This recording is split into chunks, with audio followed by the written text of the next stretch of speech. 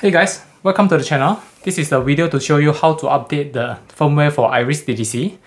Um, for Denafrips DAC or Gaia Hermes DDC, it comes with a few buttons on the front panel that allow you to enable the DAC or the DDC into firmware update mode.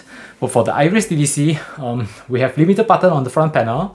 It only comes with a setup button to allow you to change the external clock input on and off. But how do we go into firmware update mode by using this guy?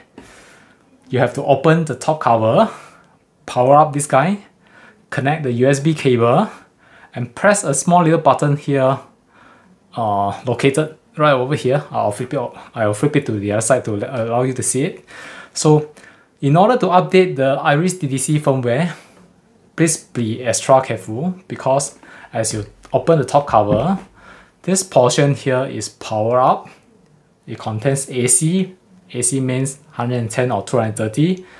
If you need, please please wear a glove and an insulation glove to protect you from electrical hazard. Uh, I do this from time to time because I'm an electrical trained person. I'm an electronic engineer, so I've been doing this for over 20 over years. So it's it's for demonstration purpose. It is fine to do this without a glove. But uh, if you are an untrained person, please wear an insulation glove to protect you from electrical hazard. Uh, it is what it is. For Iris DDC, there's no way to, to enable this DDC into firmware update mode. We have to access this little button here. Uh, let me unplug the power cord. We have to access the little button here. Uh, the power cord is dropping. We have to access this little button here to enable this Iris DDC into firmware update mode. Okay, right, so open the top cover connect the power cord and the unit will power up and as you can see the unit is powered up and you need to connect this USB cable to the computer and the computer to, should detect this as a USB DAC or USB audio device. So how do we see this in a computer? So I have a MacBook here. It is also possible to update the firmware using a MacBook now. So in system report USB, it should detect a USB high-res audio device uh, under system report USB and you will see this device. So by pressing this small little button here, it will allow the DDC, Iris DDC, goes into firmware update mode.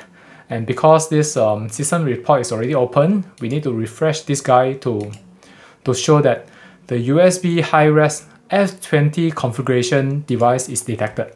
So now, this device is in configuration mode. You can then proceed with the firmware update. Okay, a few, a few of you asked, uh, can I show you how, how to update the firmware using a MacBook? So this video serves two purposes. One is to show you how to update the Iris DDC uh, by accessing this firmware update button. And the other is to show you how to do this using a MacBook.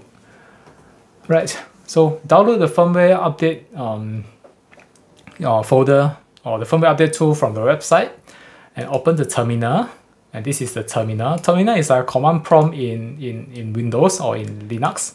So it allows you to have some command, uh, uh, have some command or some scripting. So this is the USB MCU firmware tool downloaded from the website.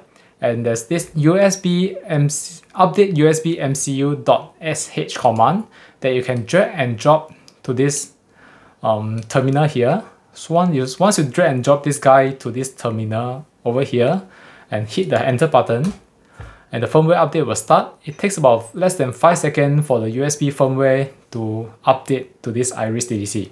So it says the firmware update is successfully done and all you need to do now is to unplug the power cord, wait for a couple of seconds, plug it back, and the unit should turn on and go to this system report and um, USB tab here, you should see uh, an updated Denafrips USB audio version 3.12 uh, USB device, USB audio device detected by the MacBook. So you have successfully updated the Iris DDC USB MCU and the firmware is now the latest. You can also see this guy in uh, system preference under sound device, system preference, under sound device, you should detect a sound output device, Denafrips USB audio version 3.12. Right, so that's about it. Thanks for watching. See you next time.